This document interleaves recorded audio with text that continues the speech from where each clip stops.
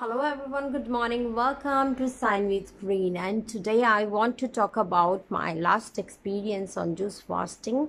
और uh, मैं क्यों इतना स्ट्रेस देती हूँ जूस फास्टिंग में क्योंकि मैंने छः महीने पहले उसको बंद कर दिया था then I notice some bad changes on my health so I again started it and मैं आपसे बोलने वाली हूँ कि वो कितने फ़ायदेमंद होता है हमारे हेल्थ के लिए।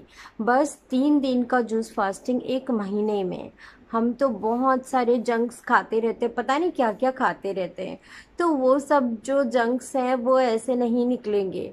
आपको अगर आप क्लीन ईटिंग करते हैं then it's okay you don't need juice fasting अगर आप क्लीन ईटिंग नहीं करते हैं बिंजिंग करते हैं तो मेरे ख्याल से ये बहुत इंपॉर्टेंट है आपको इकतीस महीने में थ्री डेज़ का जूस फास्टिंग कर लेना चाहिए।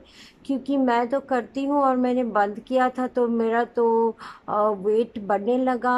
आई I मीन mean, मैंने नेगेटिव चेंजेस मैंने अपने हेल्थ में नोटिस किए। तो उसके बाद मैंने लास्ट महीने फिर शुरू किया और I have again I am coming back to my normal health और मैं बहुत खुश हूँ उसकी वजह से। और इसीलिए मैंने ये वीडियो बनाया आप सबको बताने के लिए कि ये मेरे हेल्थ के लिए कितने फ़ायदेमंद हैं तो आप भी कर सकते हैं।